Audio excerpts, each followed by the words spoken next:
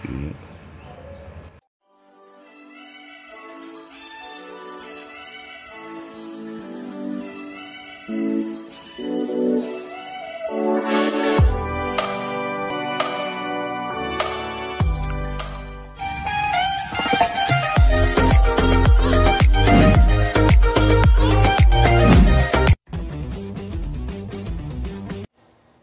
ito na nga, no, si Mocha versus Tigre. So, 8 Gs, halatang halata, no.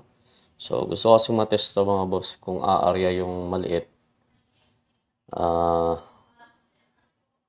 so, malalaman natin yan. So, kilatis, no. Check nyo muna. So, ito yung Mocha.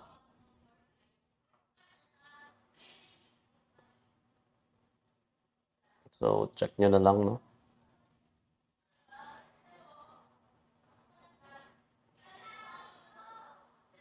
Then, ito yung tigre. So, eventually, mas malaki to. So, good shit, good shit. Ah, malalaman natin yan. Medyo, no, talaga ako dito sa mas malaki. Pero, syempre, gusto kasi makita yung laro ng gagamba. Kung unang piga pa lang aarya siya. Or kung ano yung laro nila. So, let's go. So, yo. Yun na nga mga boss. Kung napanood nyo sa FB page natin, so sabi ko magte-test fight tayo. So, yan yung iba. Yun yung gamot. Ito yung dalawang gagamba. So, yung mocha, saka yung tigre na dilaw. So, let's go.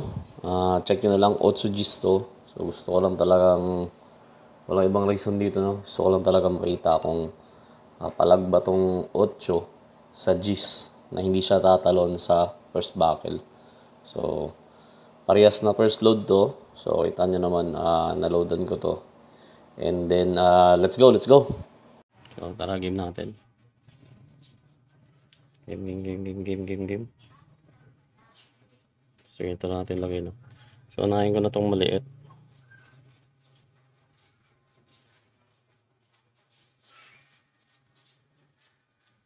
So, kita nyo naman, mabilis, no? So, let's go.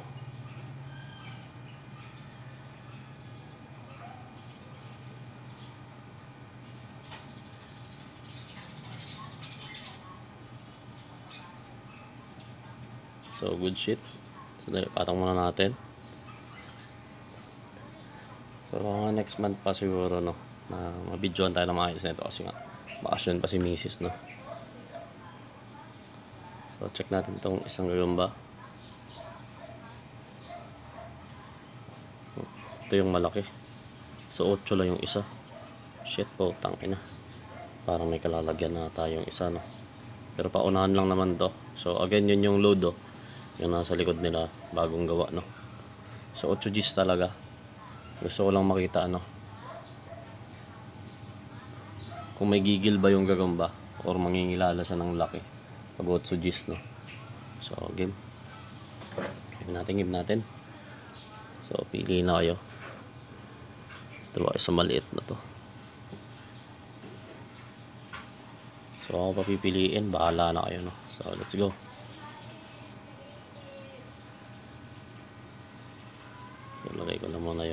Isa dito sa dulo.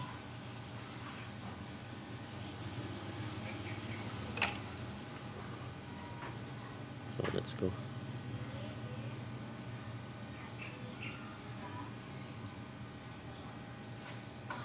Yun.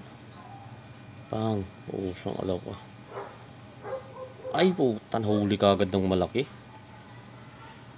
Pero wala malaban, no? Malaban yung maliit, no?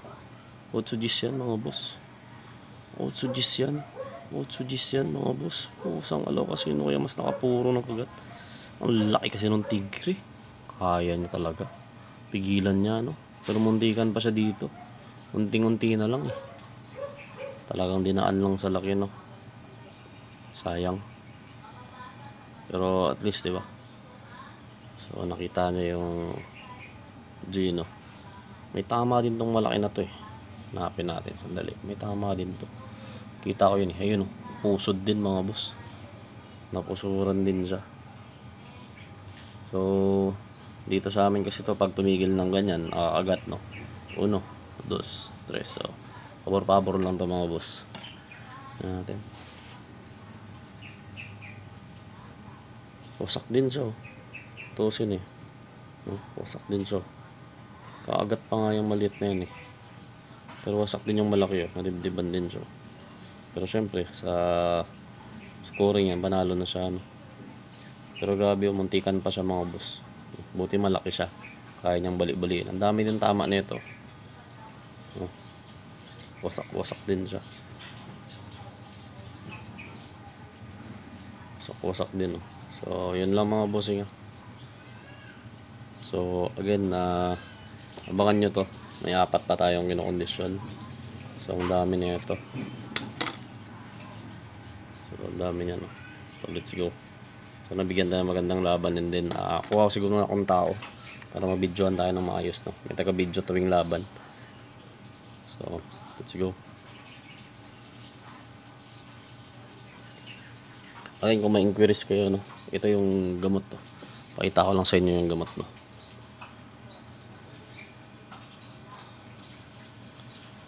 Ito yung bagong timpla.